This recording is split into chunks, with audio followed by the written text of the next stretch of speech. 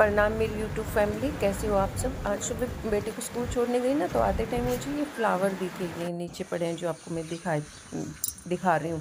पता नहीं किस चीज़ के अगर किसी को पता है तो आप कमेंट करके बताना। बारिश आई थी तो पूरे में गीला हो रखा था और पौधे बहुत अच्छे लगे बहुत अच्छी हवा चली हुई थी। मतलब वेदर बहुत अच्छा था।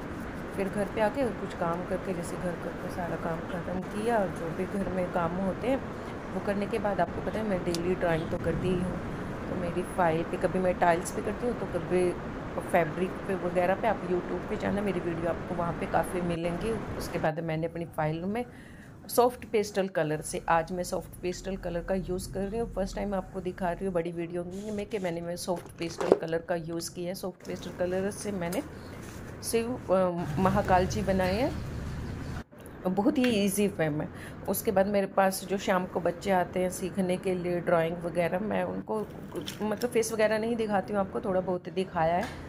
अगर कहोगे तो फिर आपको मैं मिल पाऊँगी। उनके लिए मैं तैयारी कर रही थी कि आएँगे और थोड़ा बहुत अपना वीडियो भी बनाऊँगी, तब तक वो आ जाएँगे।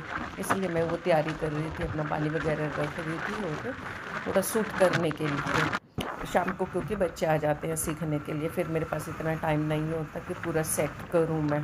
क्योंकि रात को फिर वीडियो बनाती हूँ, पूरा काम करके शाम को नीचे जाती हूँ उसके बाद फिर थोड़ा टाइम था और दिन भी था तो सोचा कि चलो बाहर जाती क्योंकि मैं चेन्नई में रहती हूँ। चेन्नई में तो वहाँ पे बीच पे चलेंगे बेटा बोलने लगा, क्योंकि उसके एग्ज़ाम ख़त्म हो गए पेपर ख़त्म हो गए अभी।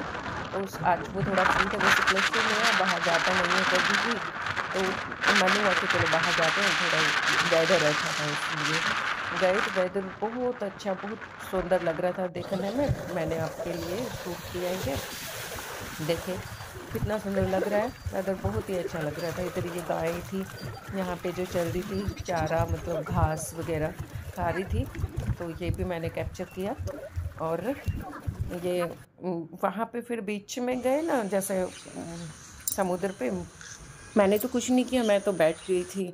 अगर वीडियो अच्छा लगे तो लाइक करना शेयर करना और कमेंट फिर मैं मंदिर गई थी, वही मैं आप लोगों को दिखा रही थी कि देखिए आप लोग भी प्रसाद ले लीजिए।